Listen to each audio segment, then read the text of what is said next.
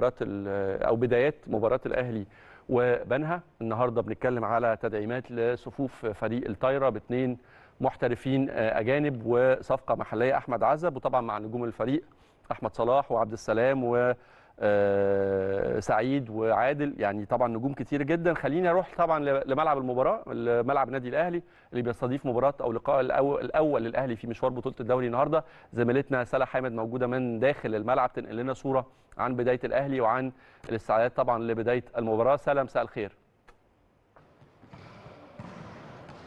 مساء الخير زميلي أحمد طبعا برحب بيك وبرحب بكل مشاهدي ومتابعي شاشة قناة النادي الأهلي في كل مكان. ويمكن زي ما أنت قلت زميلي أحمد طبعا أنا حاليا متواجدة داخل صالة أمير عبد الله الفيصل داخل مقر النادي الأهلي عشان نقول لكم يعني كل الأجواء هنا ما قبل مباراة اليوم يعني المباراة الأولى بالنسبة للنادي الأهلي في الدور التمهيدي لبطولة الدوري المصري لكرة الطايره رجال. وطبعا هي مباراة الأهلي وبنها اللي هتقام النهارده إن شاء الله في تمام الساعة السادسة وربع يعني بتوقيت القاهرة على صالة أمير عبد الله الفيصل يمكن خليني يا أحمد في البداية يعني أتكلم معاك على طبعا الأجواء زي ما أنت شايف ورايا يعني بدأ يعني كده الفرقتين يبدأوا عمليات الإحماء قبل مباراة اليوم. يمكن كمان يعني أخروا شوية موعد المباراة من الساعة 6 للساعة 6 وربع يعني نظرا لظروف معينة داخل الصالة فقرروا إن هم يعني يأخروا شوية موعد المباراة. زي ما أنت شايف عمليات الإحماء يعني لسه شغالة ورايا. ويمكن قبل عمليات الإحماء يعني كان في محاضرة فنية ما بين الكابتن ميدو مسلحي المدير الفني للفريق الأول لكرة الطايره رجال.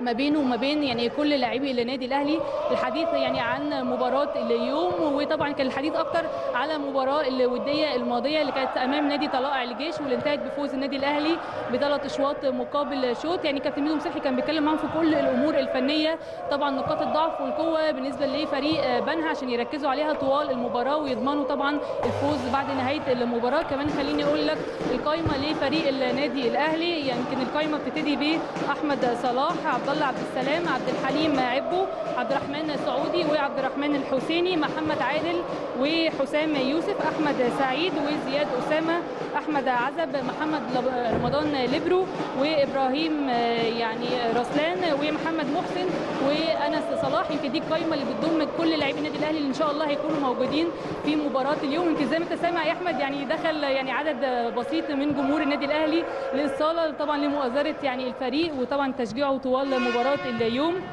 كمان خليني أقول لك يعني بالنسبة للاصابات أو الغيابات بالنسبة لفريق النادي الأهلي في مباراة اليوم يمكن في العديد من الغيابات هتكون موجودة النهارده. بالنسبة لأحمد قطب واحد من نجوم النادي الأهلي هيكون يعني أو هيغيب عن مباراة اليوم بسبب إصابة في الركبة. حاليا هو في فترة التأهيل لمدة أسبوعين وإن شاء الله بعد أسبوعين هينضم للتدريبات الجماعية مع فريق النادي الأهلي. كمان النهارده هيغيب زي ما أنت قلت يعني يمكن كان في تدعيمات كبيرة بالنسبة لفريق النادي الأهلي وهم يعني اثنين محترفين.